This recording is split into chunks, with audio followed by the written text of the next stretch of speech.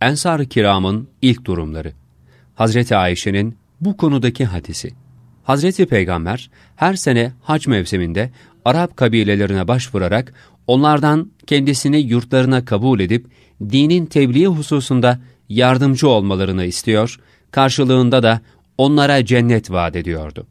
Fakat onun bu tekliflerine hiçbir Arap kabilesi olumlu cevap vermiyordu.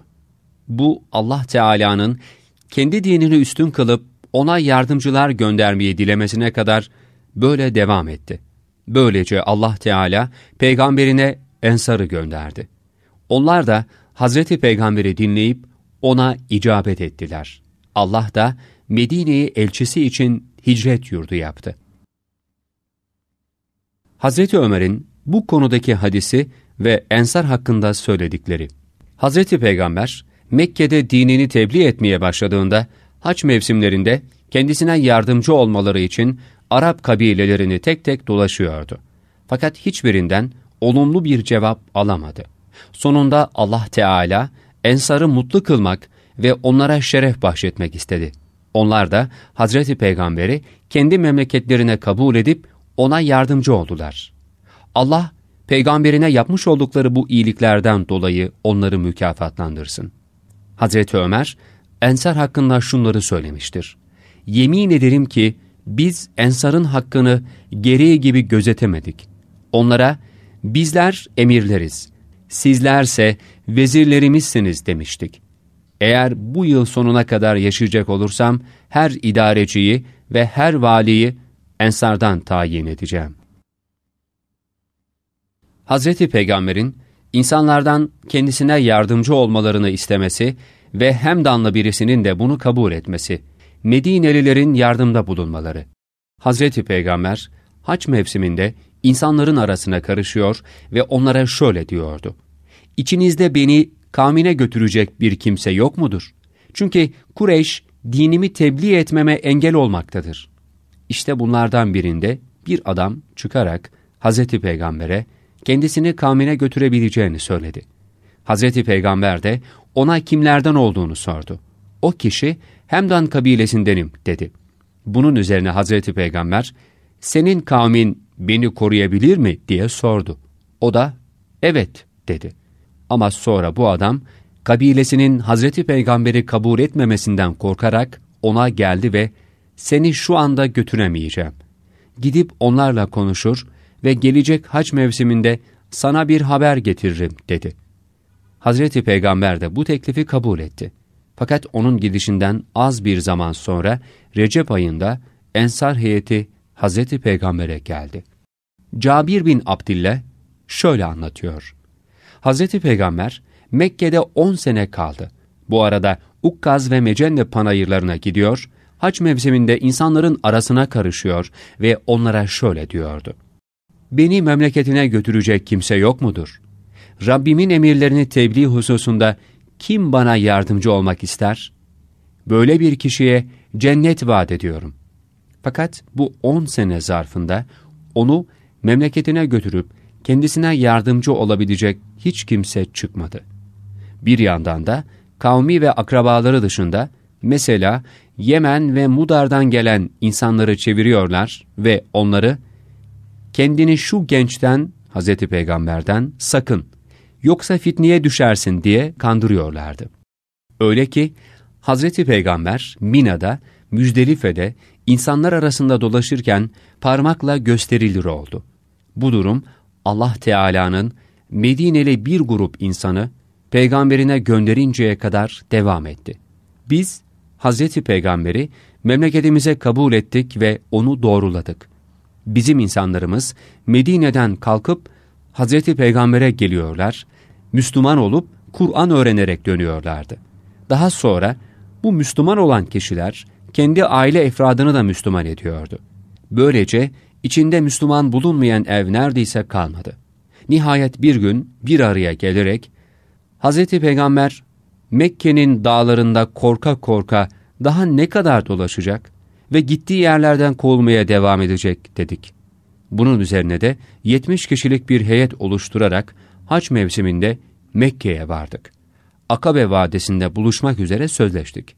Biz birer ikişer oraya toplandık ve Hazreti Peygamber'e, ''Ey Allah'ın Resulü, sana ne üzerine biat edelim?'' dedik ve böylece ona biat ettik. Bu konudaki Urve hadisi. Ensardan birkaç kişi hac için Mekke'ye gittiler. Bunlar arasında Beni Zurayk'tan Rafi bin Malik'le Zekvan bin Abdülkays, Beni Mazim bin Neccar'dan Muaz bin Afra ile Esad bin Zürare, Beni Abdil Eşel'den Ebul Heysem bin Teyyihan ve Beni Amr bin Avf kabilesinden Uveym bin Said'e de vardı. Hazreti Peygamber onların yanına gelerek kendilerine tebliğde bulundu ve Kur'an'dan bazı parçalar okudu. Onlar Hazreti Peygamber'i dikkatlice dinlediler. Onun sözleri çok hoşlarına gitmişti. Onda kitap ehli olanların söyledikleri alametleri gördüler ve ona inanıp kendisine yardım edeceklerine dair söz verdiler. Bu kişiler Hazreti Peygamber'e şöyle demişlerdi. Allah Teala'nın seni tebliğ için gönderdiğine ve bizim karşımıza çıkardığına çok memnun olduk. Biz sana ve Allah'a itaat edip yardımcı olacağız. Fakat şu an için burada Mekke'de kalman çok uygundur. uygundur. Çünkü memleketimizde Evs ile Hazreç kabileleri arasında büyük bir düşmanlık hüküm sürmektedir. Biz şimdi gidelim ve halkımıza seni anlatalım. Onları Allah'a ve Resulüne davet edelim. Sen şimdi bizimle gelecek olursan, aramızdaki bu düşmanlık sebebiyle sana hakkıyla hizmet edemeyiz. Söz veriyoruz.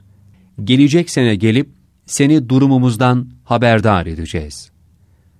Hz. Peygamber'in razı olması üzerine bu kişiler Medine'ye dönerek kavimlerini gizliden gizliye davet etmeye başladılar. Sonunda içinde 3-5 Müslümanın bulunmadığı hiçbir ev kalmadı. Sırma bin Kays'ın bu konudaki bir şiiri. Ensardan yaşlı bir kadının dediğine göre İbn Abbas, şu şiiri öğrenmek için Sırma bin Kays'ın yanına gidip gelmiştir. Hazreti Peygamber, Kureyş içerisinde on seneyi aşkın bir süre kaldı. Bu süre içerisinde bir yardımcı ve dost bulurum ümidiyle nasihatta ve tevlide bulundu. Panayırlarda halkın arasına karışıp kendisini içlerine kabul edip yardımcı olacak kimseler aradıysa da bulmadı. Nihayet bizim memleketimize, Medine'ye teşrif ettiler. Burada artık gönül huzuru içerisinde ve bizden razı olarak yaşamaktadır. Biz her halükarda mallarımızı ve canlarımızı onun yolunda seve seve feda ettik. En sevgili dostlarımız da olsalar, ona düşmanlık besleyenlere en büyük düşman kesildik. Çünkü bizler Allah'tan başka ilah olmadığına ve göndermiş olduğu kitabının insanlar için bir hidayet kaynağı olduğuna inandık. Abdurrahman bin Avf ile Sa'd bin Errabi arasında kardeşlik kurulması. Hazreti Peygamber, muhacir olarak Medine'ye gelen Abdurrahman bin Avf ile Ensardan Sa'd bin Errabi arasında kardeşlik tesis etti. Sa'd, Abdurrahman'a, ''Ey kardeşim, ben Medine'nin en zenginlerinden biriyim. Malımın yarısını sana veriyorum. Ayrıca iki de hanımım vardır. Bunlardan birini beğen, ben de onu boşayayım.'' dedi.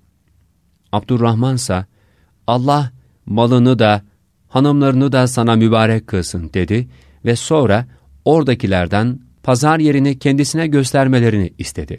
Onlar da pazar yerini tarif ettiler. Abdurrahman oraya giderek alışveriş yapmaya başladı. Kısa bir zaman içerisinde epey para kazandı. Bir gün Hazreti Peygamber'in huzuruna çıktığında Hazreti Peygamber ona ''Ey Abdurrahman, senden yayılan bu koku da nedir?'' diye sordu. Gerçekten de ondan zaferan kokusu geliyordu. Abdurrahman da ''Ey Allah'ın Resulü, evlendim.'' dedi. Hazreti Peygamber ''Peki ona mehir olarak ne verdin? dedi. O bir hurma çekirdeği kadar altın verdiğini söyledi. Bunun üzerine Hazreti Peygamber, bir koyunla da olsa düğün yemeği ver buyurdular. Daha sonra Abdurrahman o zamanı anlatırken şöyle derdi. Hala aklımdadır. Hangi taşı kaldırsam altında gümüş ya da altın bulacağımı zannediyordum. Ensarla muhacirlerin birbirlerinden miras almaları. Hazreti Peygamber Mekke'den gelen muhacirlerle Medineli Ensar arasında kardeşlik kurmuştu. Öyle ki Ensardan biri öldüğünde malı akrabalarına değil Hazreti Peygamber'in aralarında kardeşlik kurduğu muhacire kalıyordu. Bu durum Nisa suresinin 33. ayeti kerimesi nazil olana kadar böyle devam etti. Bu ayetten sonra bu uygulamaya son verildi. Anne babanın ve hısımların bıraktıklarından her birine mirasçılar kıldık. Bir başka rivayete göre de bu uygulama Enfal suresinin 75. ayeti olan Allah'ın kitabına göre aralarında kan bağı bulunan akrabalar birbirlerine daha yakındır ayetiyle kaldırılmıştır. Ensar'ın mallarını muhacirlerle bölüşmeleri. Ensar, Hazreti Peygamber'e gelerek hurmalıklarımızı muhacir kardeşlerimizle bizim aramızda pay et dediler. Hazreti Peygamber de olmaz dedi. Muhacirler de Ensar'a peki ürünü bizimle paylaşacak fakat bize herhangi bir külfet yüklemeyecek misiniz diye sordular. Ensar da evet aynen öyle dediler. Hazreti Peygamber Ensar'a muhacir kardeşleriniz size mallarını ve çocuklarını bırakarak gelmişlerdir buyurdu. Ensar da mallarımızı onlarla paylaşalım dediler. Bunun üzerine Hazreti Peygamber bunu başka bir şekilde yapamaz mısınız dedi. Ensar peki nasıl diye sordular. Hazreti Peygamber şöyle buyurdular. Onlar bu tür bir çalışmayı bilmezler. Gelin bağlarınızda, bahçelerinizde siz kendiniz çalışın ancak elde ettiğiniz mahsulü onlarla paylaşınız dedi. Ensar da bunu kabul etti. Muhacirler Hazreti Peygamber'e gelerek şöyle dediler. Ey Allah'ın Resulü! Biz bu Medineli kardeşlerimiz kadar iyi insanlar görmedik. Gelirleri az olmasına rağmen onu bizlerle paylaşıyorlar. Bol ürün aldıklarında ise payımızın kat kat fazlasını veriyorlar. Vallahi bize sevap bırakmamalarından korkuyoruz. Hazreti Peygamber ise şöyle buyurdular. Siz onlara teşekkür edip onlar için Allah'a dua ettiğiniz müddetçe sizin için de sevap verilecektir. Ensar, hurma toplama zamanı geldiğinde topladıkları hurmaları biri küçük, diğeri ise ondan daha büyük olmak üzere iki öbek haline getirirler ve sonra küçük olanın üzerine hurma dallarını da eklerlerdi. Bundan sonra ise muhacirleri çağırıp hangisini istiyorsanız alınız derlerdi. Muhacirler büyük olan kısmı alırlar, ensarsa dalları için küçük olanı alırlardı. Bu Hayber'in fethine kadar böylece devam etti. Hayber'in fethinden sonra Hazreti Peygamber Ensar'a, eğer isterseniz Hayber'den size hisse vermeyeyim. Buna karşılık da hurmalıklarınız yalnızca kendinize kalsın dedi. Ensar buna şöyle cevap verdiler. Ey Allah'ın Resulü! Sen bize bazı görevler verdin ve bir takım şartlar öne sürdün. Bizse bütün bunlara karşılık senden cenneti istedik. Eğer bu şartımızı kabul ediyorsanız sizin dediğiniz gibi olsun. Hazreti Peygamber de, evet, şartınızı kabul ediyorum buyurdular. Hazreti Peygamber, kendilerine Bahreyn'den pay vermek üzere Ensar'ı çağırdı. Onlar da, bize verdiğin kadar muhacir kardeşlerimize de vermezsen bunu kabul etmeyiz dediler. Hazreti Peygamber de, bu durumda kıyamet günü beni görünceye dek sabredin. Mükafatınızı orada alırsınız buyurdu. Yahudi Ka'b bin Eşref'in Hazreti Peygamber'in isteğiyle öldürülmesi. Hazreti Peygamber bir gün şu Ka'b bin Eşref denen adam Allah'a ve onun Resulüne eziyet etmektedir. Bizi ondan kim kurtaracak dedi. Muhammed bin Mesleme kalkarak Ey Allah'ın Resulü onu öldürmemi ister misiniz diye sordu. Hazreti Peygamber de evet dediler. Bunun üzerine Muhammed bin Mesleme, o halde bana müsaade et de ona yalan söyleyeyim dedi. Hazreti Peygamber ona bu konuda izin verdi. Bundan sonra Muhammed bin Mesleme, Kaab'a giderek, bu adamın aldığı sadakalar bizi zayıf düşürdü. Senden borç istemeye geldim dedi. Kaab da, yemin ederim ki o sizi usandıracaktır dedi. Muhammed de, biz ona bir kere bağlanmış olduk. Sonucun ne olacağını görmeden de bırakmak istemiyoruz. Peki sen bize borç olarak bir veya iki yük hurma verebilir misin? dedi. Kaab, sana borç verebilirim ama rehin olarak ne bırakacaksın? dedi. Sahabiler, sen ne istiyorsan onu söyle dediler. Kaab da, rehin olarak hanımlarınızı bırakınız dedi. Sahabiler, hayır, hanımlarımızı sana rehin olarak bırakamayız. Çünkü sen Arapların en güzelisin dediler. Kaab da, o halde çocuklarınızı rehin olarak bırakın dedi. Bunun üzerine sahabiler, hayır, çocuklarımızı da bırakamayız. Çünkü büyüdüklerinde iki yük hurma karşılığında rehin bırakılan değil misin diye küçümsenecekler ve bu da bizim için bir utanç olacaktır. Fakat sana zırhlarımızı bırakabiliriz dediler. Muhammed bin Mesleme gece geleceğini söyleyerek oradan ayrıldı. Geceliğin yanında Ebu Nail'e olduğu halde geldi. Ebu Nail'e Kaab'ın süt kardeşiydi. Kaab onları yukarıya davet ettiyse de onlar çıkmayıp kendisinin aşağı gelmesini istediler. Bunun üzerine karısı, ''Ne olursun gitme, ben bu sesten kan kokusu alıyorum.'' dedi. Kaab da, ''Korkma, bunlar Muhammed bin Mesleme ile kardeşim Ebu Naile'dir. Onlardan bana bir zarar gelmez. Kaldı ki kerim bir kimse, geceliğin kavgaya bile çağrılsa icabet eder.'' dedi.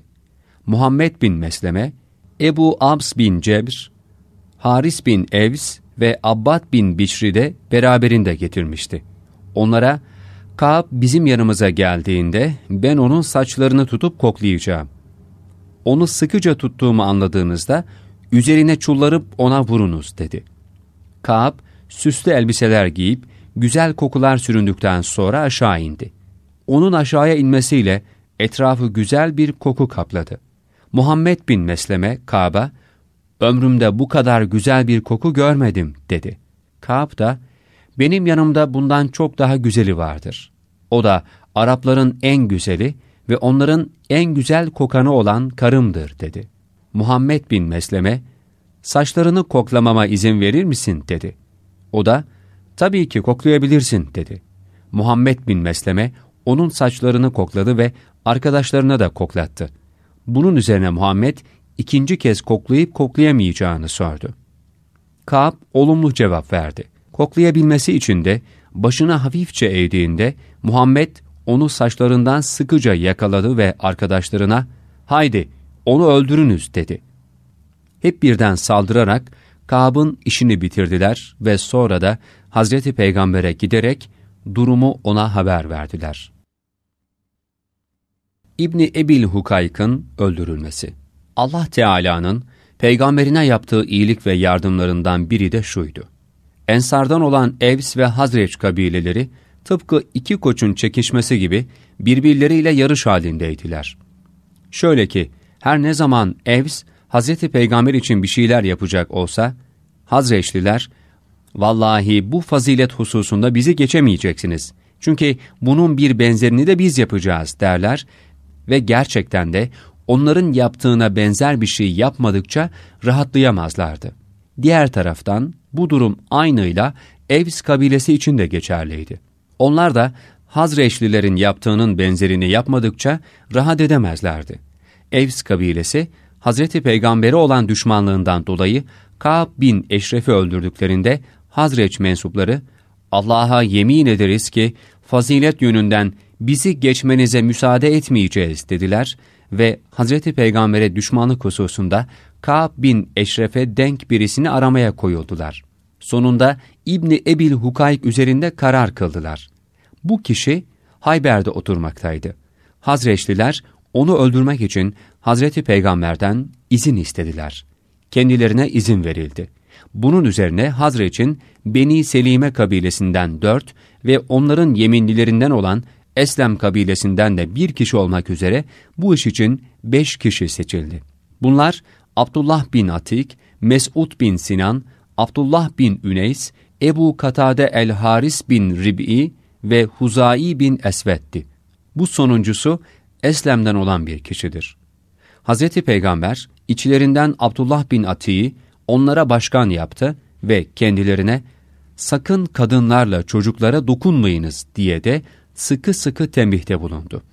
Bu beş kişi Hayber'e doğru yola çıkıp geceliğin oraya vardılar. İbni Ebil Hukayk'ın evini bulup içeri girdiler. Evdeki bütün odaların kapılarını içeridekilerin üzerine kilitlediler. Sonra da İbni Ebil Hukayk'ın kendisi için yaptırmış olduğu yüksek köşke yöneldiler.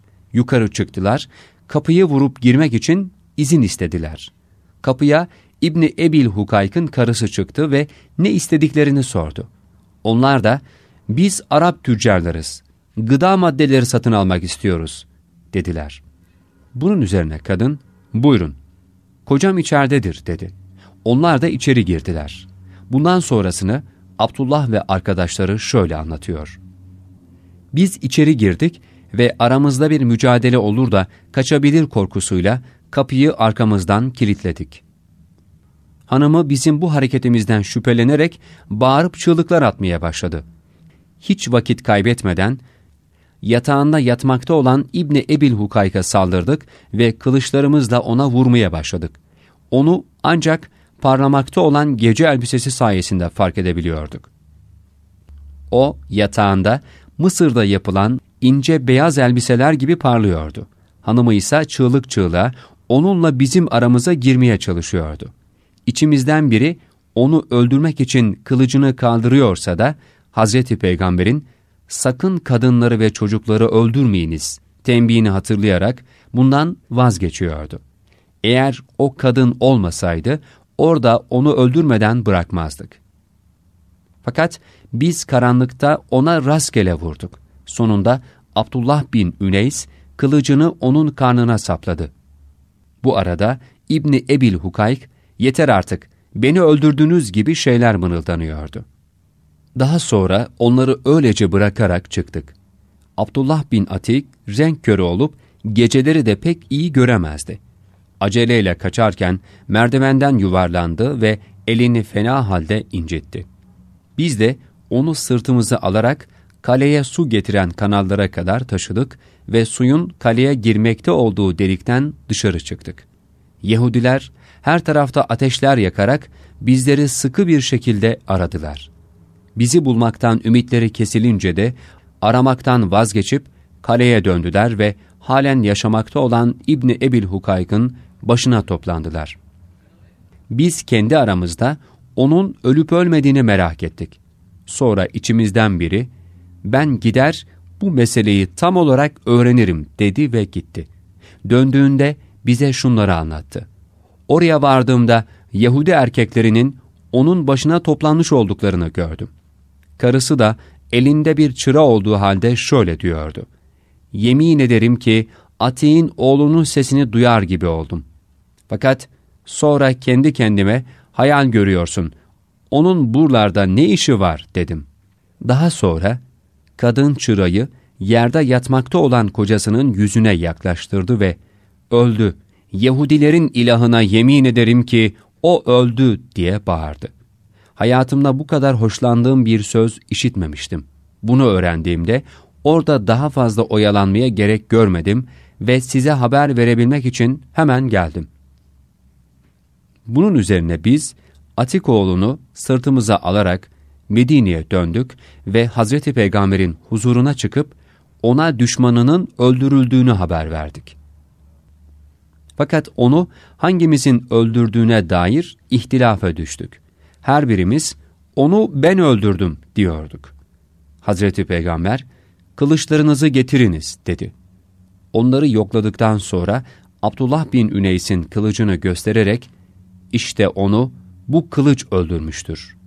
Çünkü bu kılıcın üzerinde yemek izleri görüyorum buyurdular. İbn Şeybe el-Yahudi'nin öldürülmesi. Binti Muhayyisa şöyle anlatıyor. Hazreti Peygamber, Yahudi erkeklerinden kimi yakalarsanız öldürünüz buyurdu. Bu emir üzerine babam Muhayyisa, Yahudi tüccarlarından biri olan İbn Şeybe'nin üzerine atılarak onu öldürdü. Bu adam babamla alışveriş ederdi. O sırada amcam Hüveyyisa henüz Müslüman olmamıştı ve kendisi babamdan da yaşça büyüktü. Bu olay sırasında amcam Hüveyyisa babama arkadan vuruyor, onu öldürdün ey Allah'ın düşmanı, yemin ederim ki vücudundaki yağların çoğu onun malındandır. Bunun üzerine babam amcama dönerek, Allah'a yemin ederim ki eğer Hazreti Peygamber emretmiş olsaydı senin bine boynunu vururdum. Bu olay ve babamın kendisine söylediği sözler amcamın Müslümanlığa ilk adımı atmasına sebep oldu. O babama, demek Muhammed öldürülmemi emretseydi benim de boynumu vuracaktın öyle mi? dedi. Babam da, evet, yemin ederim ki aynen öyledir dedi. Amcamsa hayretler içerisinde, o halde ben de yemin ederim ki bu derecelere gelen bir din artık yenilmez dedi. Ensar'ın Beni Kaynukalılara karşı Hazreti Peygamber'e yardım etmeleri. Hazreti Peygamber Bedir'de Kureyşlileri hezimete uğrattıktan sonra Medine'deki Yahudileri Beni Kaynuka pazarında topladı ve onlara ''Ey Yahudiler! Bedir gününde Kureyş'in başına gelenleri gördünüz. Geliniz sizin başınıza da gelmeden önce Müslüman olunuz.'' dedi. Yahudiler ise Hazreti Peygamber'e şu cevabı verdiler. Onlar savaşmasını bilmiyorlardı. Bizimle savaşacak olursan bu hususta ne kadar maharetli olduğumuzu göreceksin. Bunun üzerine Allah Teala Ali İmran suresinin 12 ve 13. ayetleri olan şu ayet-i kerimeleri indirdi. İnkar eden o Yahudilere de ki, yakında yenilecek ve cehenneme sürüleceksiniz. Orası ne kötü bir yerdir. Karşı karşıya gelen şu iki taifede sizin için bir ibret vardır. Bunlardan biri Allah yolunda çarpışıyordu. Diğerleri ise nankörlerdi. Bu ikincileri karşısındakileri açıkça ve gözleriyle kendilerinin iki katı olarak görüyorlardı. Allah kimi dilerse onu yardımlarıyla destekler. Elbette ki bütün bunlarda gözleri olanlar için bir ibret vardır. Bedir yenilgisinden sonra Müslümanlar Yahudilerden olan anlaşmalılarına geliniz Allah Teala Bedir gününe benzer bir olayı sizin başınıza da getirmezden önce Müslüman olunuz diye tavsiyede bulundular. Buna karşılık Yahudilerden Malik bin Sayf şunları söyledi. Savaş nedir bilmeyen Kureyşlilerle karşılaşıp da onları yenmeniz sakın sizi aldatmasın. Çünkü biz size karşı kuvvetlerimizi birleştirecek olursak bize karşı koyamaz ve bizimle savaşmayı göze alamazsınız. Bunun üzerine Übade bin Samit Hazreti Peygamber'e şunları söyledi. Ey Allah'ın Resulü! Anlaşmalı olduğumuz Yahudiler güçlü ve nüfuzlu insanlardır. Silahları ve kuvvetleri çoktur. Buna rağmen ben onların dostluğunu bırakıyor, Allah ve Resulünün dostluğuna sığınıyorum. Benim dostum ancak Allah ve O'nun Resulüdür. Abdullah bin Übey denilen münafıksa, ben Yahudilerin anlaşmasını kesinlikle bozamam. Onlarla dost kalmaya devam edeceğim. Çünkü onların buna ihtiyaçları vardır dedi. Hazreti Peygamber de ona dönerek, Ey Ebal Hübab! Sen kendi bildiğine git, ibadete kendi yoluna gitsin buyurdular. Abdullah bin Übey, o halde kabul ediyorum dedi. Bunun üzerine Allah Teala, Ey iman edenler! Sakın Yahudi ve Hristiyanları dost edinmeyiniz. Onlar ancak birbirlerinin dostudurlar. İçinizden kim onları dost edinecek olursa o da onlardandır. Mealindeki ayeti kerimeleri indirdi. Beni Nadir'in Hazreti Peygamber'e tuzak kurması ve daha sonra yenilerek sürgün edilmeleri. Kureyş kafirleri Bedir hadisesinden önce Abdullah bin Übey ve Medineli diğer putperestlere bir mektup yazarak Hazreti Peygamberi ve ashabını barındırdıkları için onları tehdit ettiler. Onlara bütün Arap kabileleri toplanarak Medine'ye savaş açacaklarını söylediler. Bu mektubu okuyan Abdullah bin Übey ile diğer münafıklar Müslümanlara savaş açmaya karar verdiler. Bunu haber alan Hazreti Peygamber onlara haber göndererek Kureyş size öyle bir oyun oynamaktadır ki, daha önce hiç kimseye bu kadar büyüğünü yapmamıştır. Onlar sizi birbirinize düşürüp aranızda savaş çıkmasını istemektedirler buyurdu. Abdullah bin Übey ve arkadaşları da buna hak vererek savaşmaktan vazgeçtiler. Kureyş müşrikleri Bedir Savaşı'ndan sonra da Yahudilere bir mektup yazarak şunları söylediler. Sizin silahlarınız ve zırhlarınız vardır. Üstelik de bir kaleye sahipsiniz. Müslümanları yenebilirsiniz. Aksi takdirde karşınızda bizi bulacaksınız.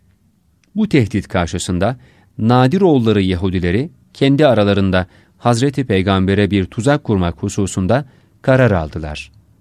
Hazreti Peygamber'e adam yollayıp, yanına sahabilerinden üç kişi alarak falan yere gel. Bizden de üç alim gelecektir.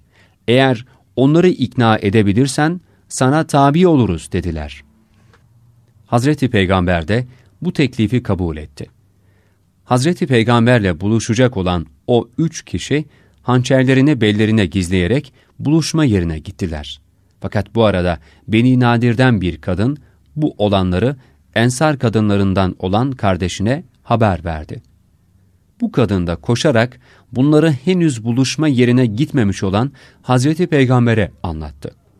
Bunun üzerine Hazreti Peygamber oraya gitmekten vazgeçti.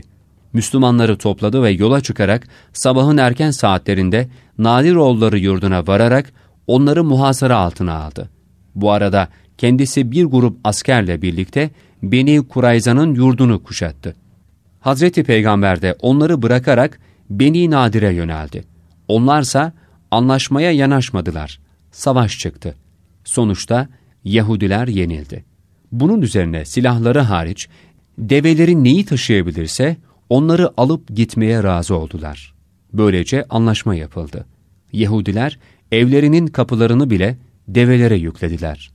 Evlerini bizzat kendi elleriyle yıkıyor ve çıkan tahta parçalarından hoşlarına gidenleri alıyorlardı. Bu sürgün olayı Hicaz'dan Şam taraflarına yapılan ilk sürgündür. Müslümanların Beni Kureyza ile yapılan savaşlarda gösterdiği kahramanlıklar. Hazreti Ayşe şöyle anlatıyor. Hendek günü ne olup bittiğini öğrenebilmek için dışarı çıktım. Yolda giderken arkamda ayak sesleri işittim. Dönüp baktığımda Sa'd bin Muaz'la yeğeni El Haris bin Evs'in gelmekte olduklarını gördüm. Geçip gitmeleri için bir kenara çekilerek oturdum. Sa'd'ın üzerinde demirden bir zırh vardı. Ama bu zırh onun bütün azalarını örtemiyordu. Çünkü Sa'd tanıdığım insanların en iri yarısıydı. Zırhın dışarıda kalan yerlerinin ok veya kılıçla yaralanmasından korktum. Yanımdan geçerlerken Sa'd şöyle bir şiir okuyordu. Biraz bekle, bir deve seni savaş alanına götürecektir. Ecel yaklaştığında ölüm ne güzel bir şeydir. Onlar geçip gittikten sonra kalktım, bir hurma bahçesine girdim. Orada bazı Müslümanlar aralarında Hazreti Ömer de olduğu halde oturuyorlardı. İçlerinde başında miğfer bulunan bir kişi de vardı. Hazreti Ömer bana, ''Buraya nasıl geldin? Yemin ederim ki sen çok cesur bir kadınsın. Başına bir şey gelmesinden korkmadın mı?'' dedi. Bu şekilde Hazreti Ömer, yer yarılsa da içine girsem diyecek hale getirinceye dek beni kınamaya devam etti. Bu arada miğferli kişi de miğferini başından çıkardı, o zaman onun Talha bin Ubeydullah olduğunu gördüm. Talha, Hazreti Ömer'e benim için şunları söyledi. Allah sana rahmet etsin ey Ömer. Ayşe'yi ne de çok kınadın. Felaketler Allah'tandır ve ondan başka da kaçacak yer yoktur. Bu esnada karşı taraftaki Kureyşlilerden biri kalkarak bu oku al, ben İbnül Arika'yım diyerek bir ok fırlattı. Ok, Hazreti Sad'ın koluna isabet ederek büyük damarlarından birini kopardı. Bunun üzerine Sa'd, ''Ey Rabbim, Kureyza oğullarından intikamımı alıp gözlerimi aydın etmedikçe beni öldürme.'' diye dua etti. Beni Kureyza Yahudileri Sa'd'la anlaşmalı olup cahiliye döneminde de Sa'd'ın yardımcılarıydılar. Daha sonra Sa'd'ın yarası kabuk bağladı. Allah Teala da müşrikler üzerine korkunç bir rüzgar, bir fırtına göndererek müminleri savaştan kurtardı. Allah kuvvetli ve galiptir. Bundan sonra Ebu Süfyan ve beraberindeki Kureyş müşrikleri savaştan vazgeçerek Tihame'ye döndüler. Onlarla birlikte olan Uyeyne bin Bedir ve adamları Necde, Kureyza oğulları da kendi kalelerine çekildiler. Hazreti Peygamber de Medine'ye döndü ve Sa'd için mescidin avlusuna tabaklanmış deriden bir çadır kurdurdu. Ancak az bir zaman sonra Cebrail geldi. Onun dişleri tozlanmıştı. Cebrail, Hazreti Peygamber'e, savaşmaktan vaz mı geçtin? Allah'a yemin ederim ki, melekler henüz silahlarını ellerinden bırakmış değildirler. Şimdi derhal Beni Kurayza'ya doğru yola çık ve onlarla savaş dedi. Bunun üzerine Hazreti Peygamber hemen silahını kuşandı ve tellallar çıkartarak halkı toplanmaya davet etti. Müslümanlar kısa bir süre içerisinde toplandılar ve Beni Kurayza'ya doğru yola çıktılar. Hazreti Peygamber, mescidin yakınlarında bulunan Ganim oğullarının yanından geçerken onlara, buradan hiç kimse geçti mi diye sordu. Onlar da, evet, biraz önce Dıhyetül Kelbi geçti dediler. Hazreti Cebrail, insan kılığına girdiğinde sakalı, yüzü ve dişleriyle Dıhyetül Kelbi'ye çok benziyordu. Bu ordu, Kureyza oğullarının yurduna vardı ve onları kuşattı.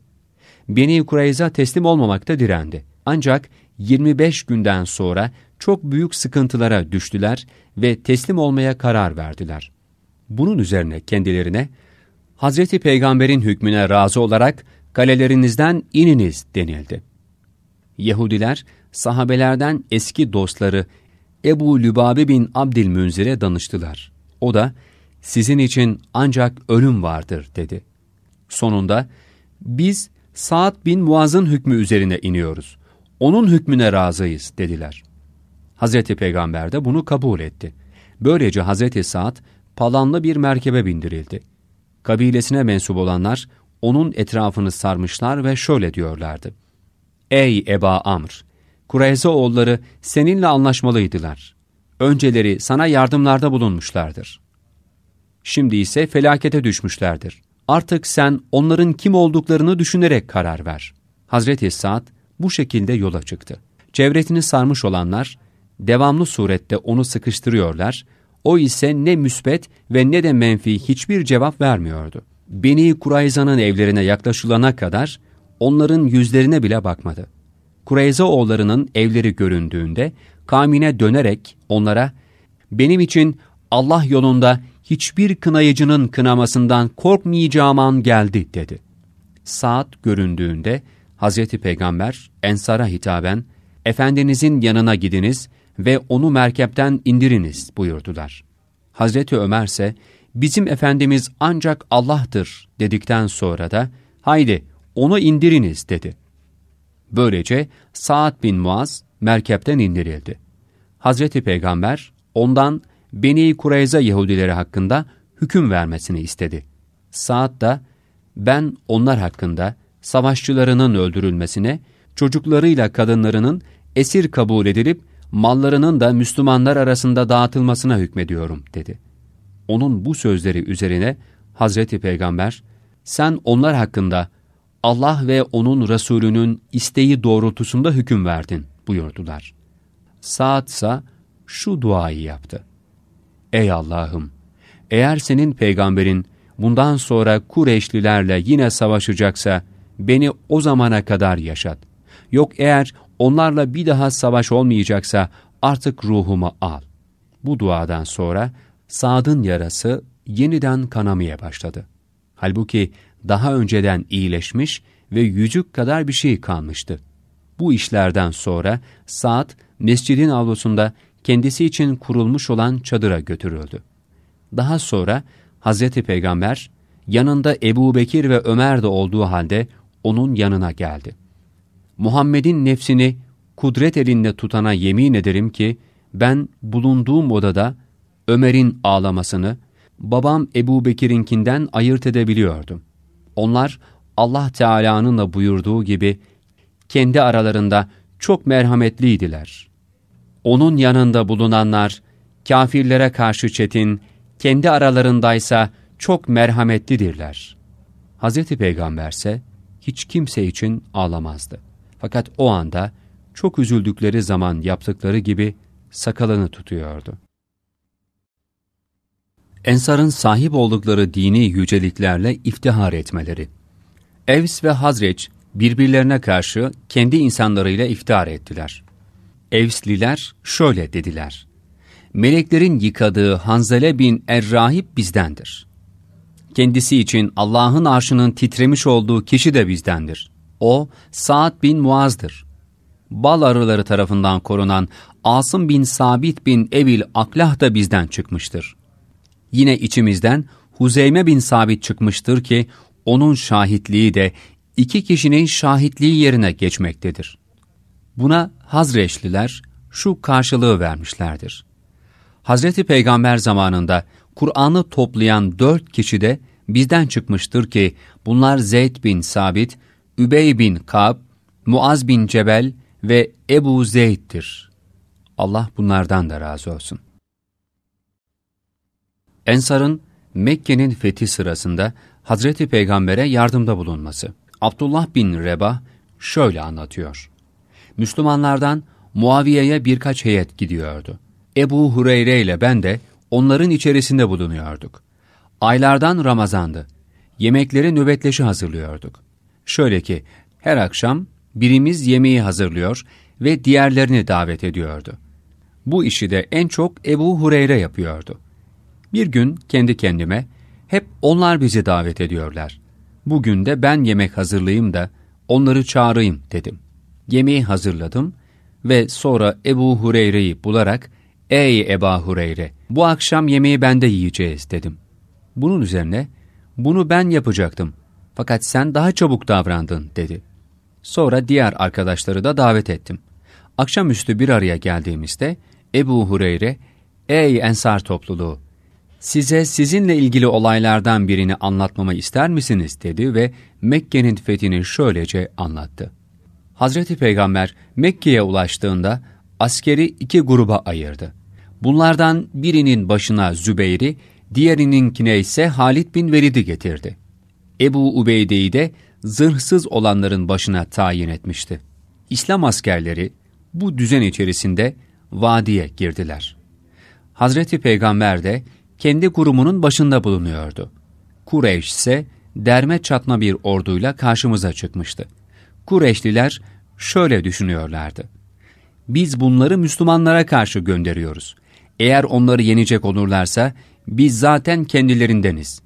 Yok eğer yenilirse o zaman da burnumuz bile kanamadan onlara teslim oluruz.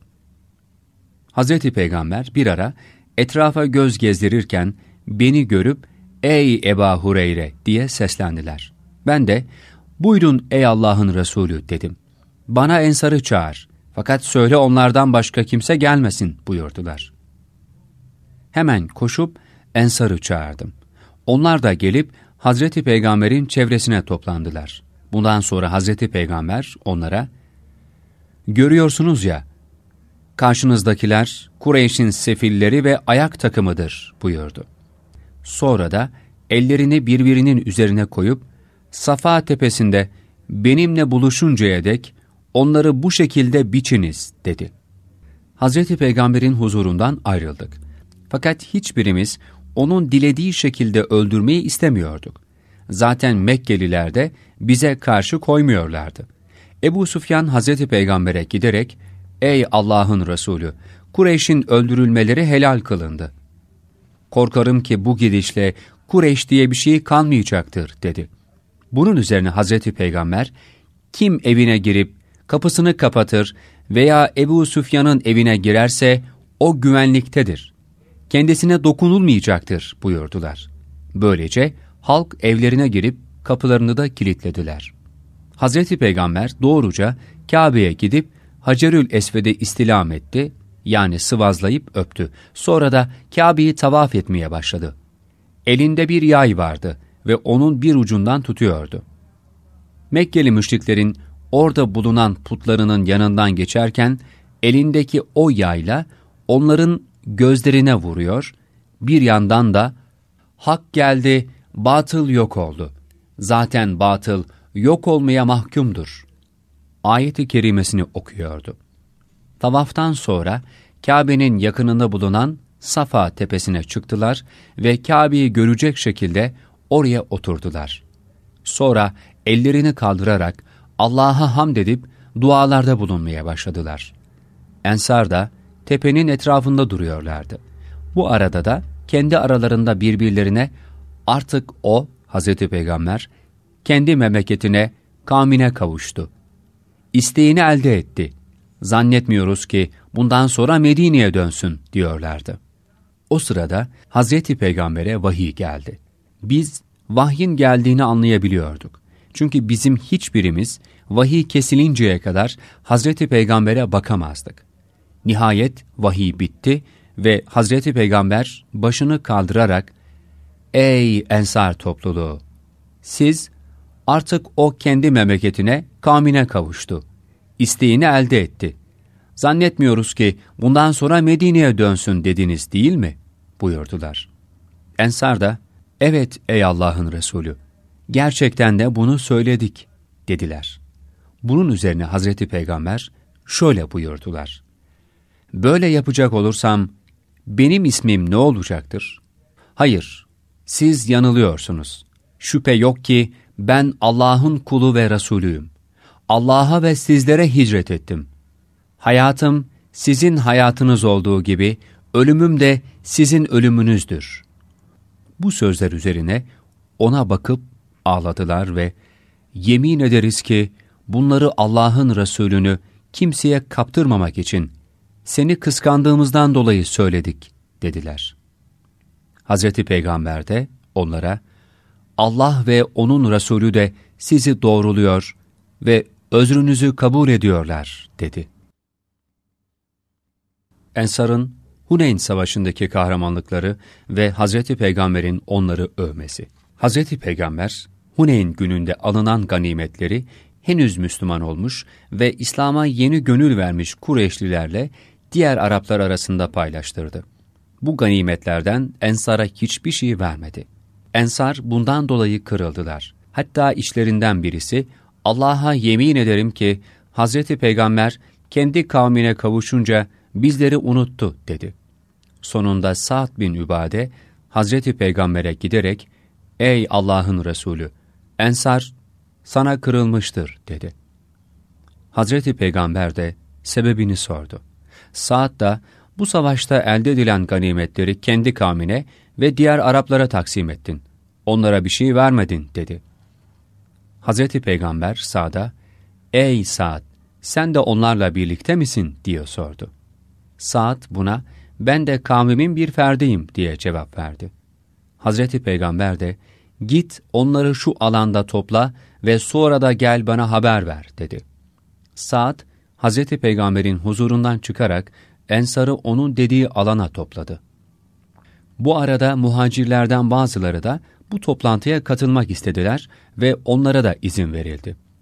Bazı kimselerse oraya kabul edilmediler. Ancak Ensar'dan gelmeyen kalmadı.